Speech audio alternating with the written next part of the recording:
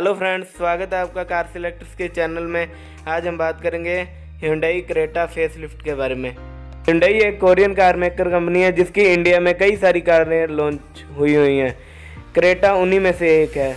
ये एक true S है जो फोर मीटर के अबव आती है। ये क्रेटा चार या पाँच साल हो गए जिसको फेस लिफ्ट नहीं दिया गया और ये बहुत ही पुराने डिज़ाइन की हो चुकी है। बाकी हमेशा इंटरनेशनल और नेशनल मार्केट में क्रेटा की डिमांड सबसे ज़्यादा रही है।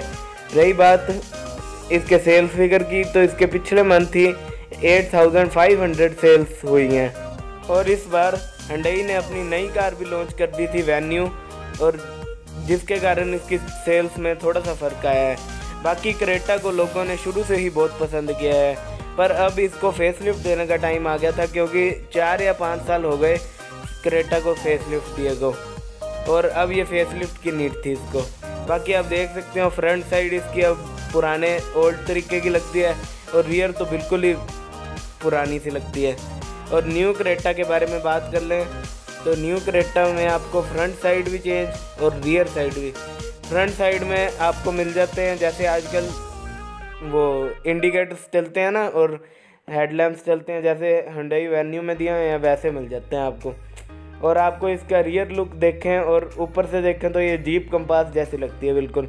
बाकी इसके डायमेंशन में भी फ़र्क आए हैं, जैसे 20 एम mm तक इसका व्हील बेस बढ़ा दिया है और 10 एम mm इसकी हाइट घटा दी है। बाकी इंटीरियर की बात करें तो इंटीरियर बहुत ही सुंदर बनाया है हैंडई ने इस बार। इंटीरियर बहुत अच्छा है और इसमें बड़ी सी में स्क्रीन है।